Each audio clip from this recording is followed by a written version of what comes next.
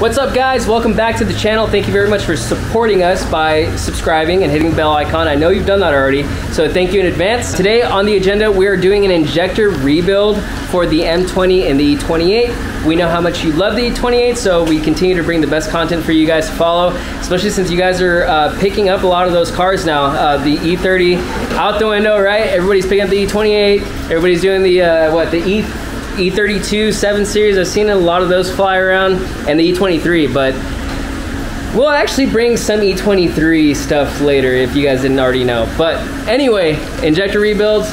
We have some updates from the M50 swap that we're doing. My brother's kind of leading that project right now, but he has his own swap that he's been doing that we have not been documenting.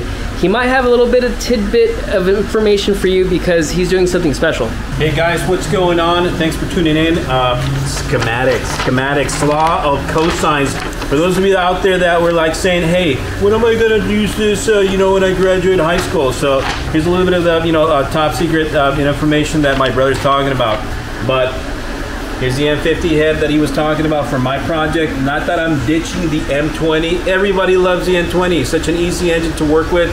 But man, this platform is just so easy to work with. You know, of course, the hydraulic, uh, you know, lifters, etc.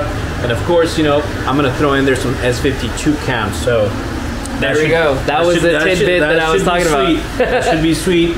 Um, other than that, I'm actually working on some really interesting things that uh, would probably benefit the whole community. Uh, my brother and I were really excited uh, to move forward with some bigger projects.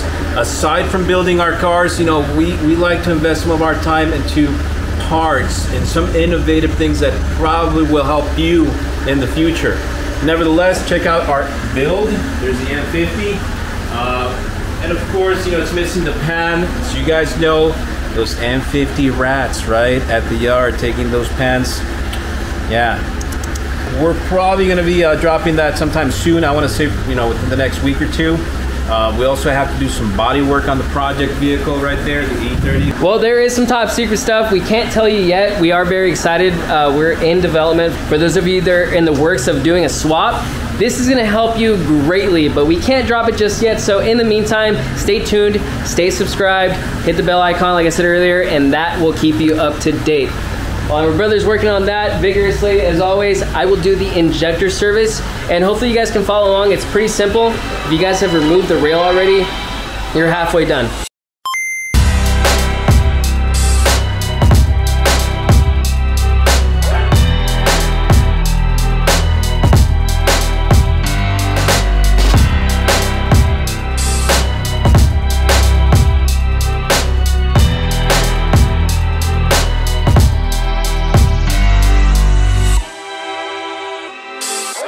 All right guys, what I've done so far is I've unplugged the connectors that go to the injectors and there's a couple temp sensors that are in the front. You wanna unplug those.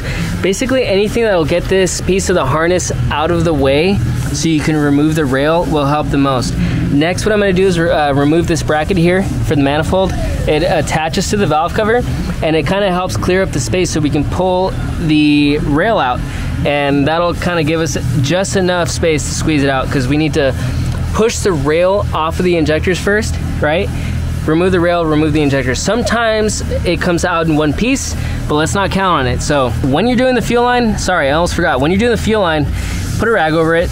I mean, while this isn't a high pressure, like modern BMW fuel system where it's like 2000 psi or whatever, it's still enough pressure to spray in your eyes and hurt you if you're not wearing glasses. So in my case, I'm not. So I put a rag over it so you protect yourself when you pull the line off. Once the uh, fuel's gone, I mean, you're, you're good to go. But also, another safety measure unplug the battery, undo the battery. I undid the negative, but if you're safer, um, if you feel safer undoing the entire thing, by all means, do it. Do not take any chances.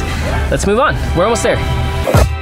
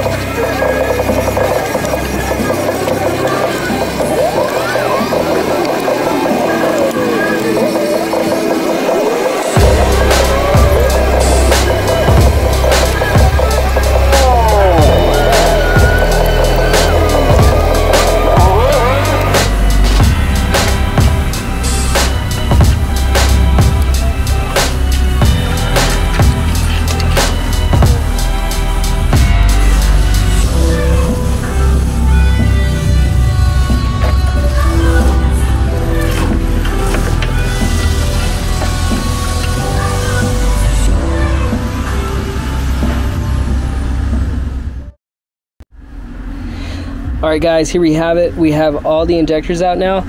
I am keeping them in their order just so we can see how they're actually shooting fuel out. I'm really curious to see which one has a poor uh, atomization and to see uh, which ones are still good. But either way, we're still going to rebuild them. Uh, not a big deal. It was kind of a pain to get them out. I mean, to be honest with you, it always is with these M20s. Luckily, you don't have to remove much. Uh, you don't have to remove the manifold or anything crazy like that. You just kind of have to work your way around the harness. The wire looms that, that are still on there from 30 years ago, they're very stiff and they're brittle. They want to break. And them being really stiff makes them really hard to maneuver. But we didn't have to remove much. Just to overview, just unplug the harness connectors, uh, undo the crank breather hose that's on the valve cover, just move it out of the way behind the rail. And then I removed three injectors while they were still in there. You can remove all of them. It was just easier for me to remove the first three and then wiggle it out. Remove the bracket. You can probably remove that second bracket there, that, that one right there. But I didn't. Um, I found it just fine without it. But let's move on. Uh, don't forget your fuel lines and the return line. All right, guys, so here's the idea. So what we're gonna do is that we're gonna use this regulator and a little ball valve to uh, regulate the air that we're gonna pressurize uh, with fuel to do just like the preliminary test of see what the of seeing what the stream looks like or uh, the atomization if it's even atomizing anymore. And uh, after that, we're gonna try cleaning them and replacing the filter on the inside.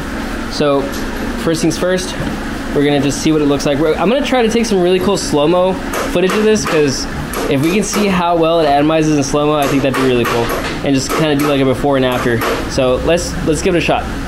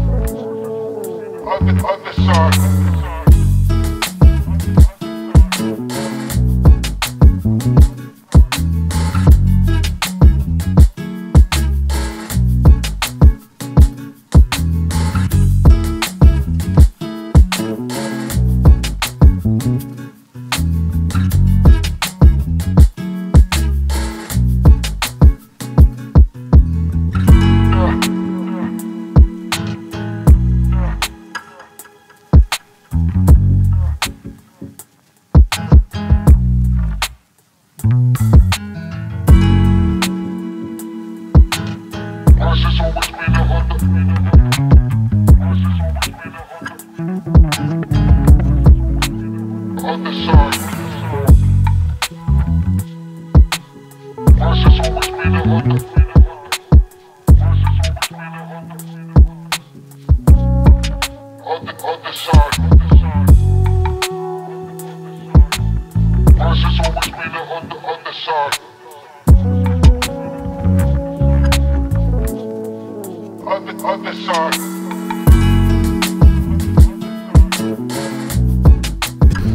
All right, guys, I just got the fuel rail back in. It's just seated.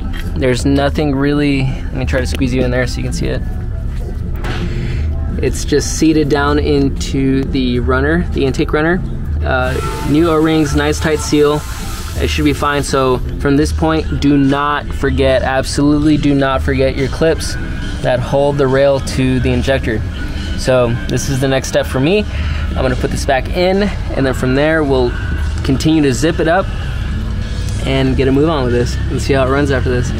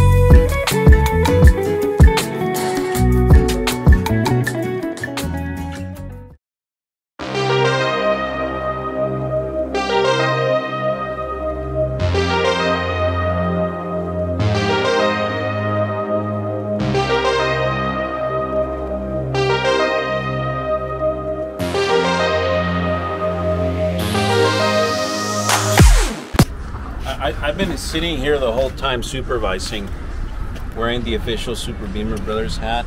Well, we call it Super Bimmer Help. Yeah, Super, Be- Super Bimmer Brother help. I was making sure he didn't set himself on fire. Safety team in full effect. Let's start her up.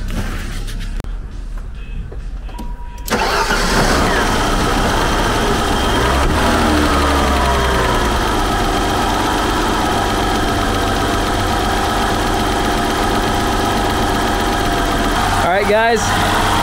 The verdict is that it does sound much better, and I'm sure it will perform much better. While you're at this point, before you take off, if you're doing this at home, just take the final few minutes to make sure that there's no fuel leaks because on the ET, ETA uh, fuel system, you have the um, the starter valve. You know, it's an extra fuel injector on the on the port here, on the intake here, and then of course the fuel rail. Make sure that's not leaking. If you guys haven't looked at the channel, we have a few different playlists going on. We have an E31 with the five lug swap, kind of like a how-to, but just kind of showing how the whole process works. We have the M50 swap playlist that should be uh, filling up pretty quick. We have two videos on there already, so if you haven't already started watching it, go ahead and watch it. We'll go ahead and link them at the end of the video or up here, whichever one appears first. And uh, we're gonna add more DIY videos between my brother and I. Uh, we were talking about this. We're gonna be doing an M50 DIY video. Um, since we're doing two rebuilds at the same time, we're gonna take the time to show you guys a lot of helpful tips that can help you in your build at home. So And uh, you know, if, if you guys, we're not claiming that we know everything, and if you have tips for us, always drop a comment because you know definitely we're, we're not like the last solution or the first solution to anything. Yeah, absolutely. Just because we're giving you tips doesn't mean that you can't give us some. There are plenty of master mechanics out there that know an encyclopedia's worth of knowledge on these cars, and we're always really stoked to meet those kind of people in person. So if you ever see us rolling around, say hi. Let's hang out. We're not, we're not, we don't want to be strangers. For real. Thank you guys for tuning in. We really appreciate your support. Honestly, it's super awesome to be able to make videos for you guys, hopefully weekly, starting from now on. We're trying to do that. But anyway, until the next one, guys, please remember to like, share, and subscribe. Take care.